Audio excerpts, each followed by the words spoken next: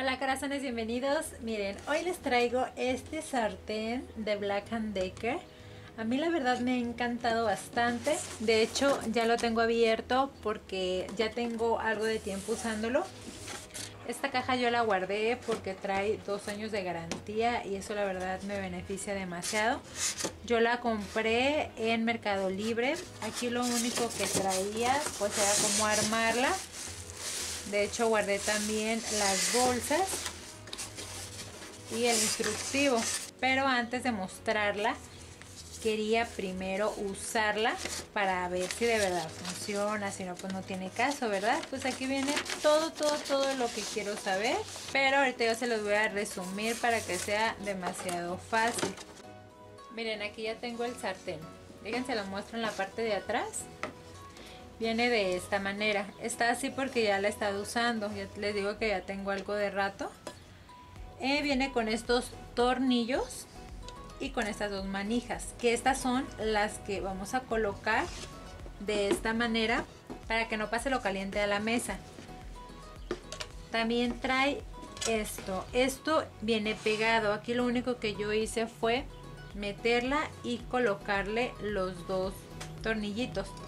Hola, si tú aún no me conoces, te invito a que te suscribas de inmediato a este canal, ya que estoy haciendo sorteos muy seguido por agradecimiento de todo el apoyo que me dan. Quiero que observen este sartén, lo compré al mismo tiempo que este y vean, ya se está picando, se está levantando.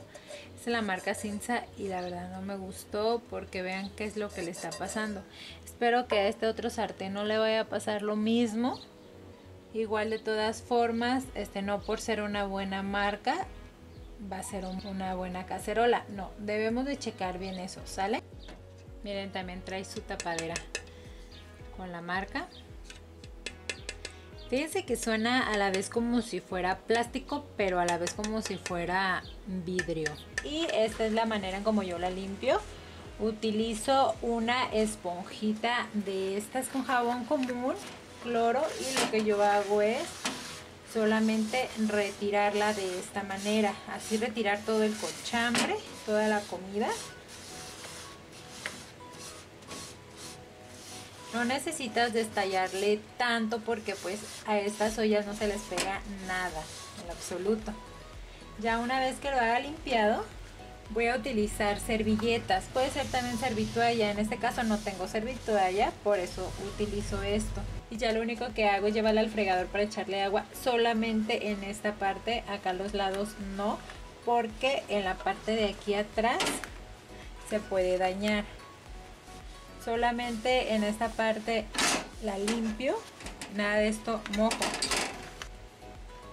Ya solamente fui a enjuagarla y ahora solo con una servilletita seco ahora solo la enchufamos y en esta partecita vienen los grados.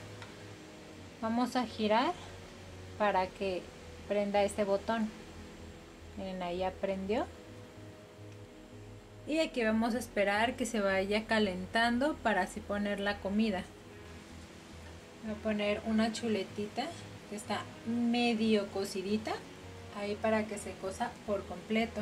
Ahora quiero que observen cómo es cómo va a soltar todo el juguito. Le voy a elevar un poquitito más la temperatura para que esté más rápido.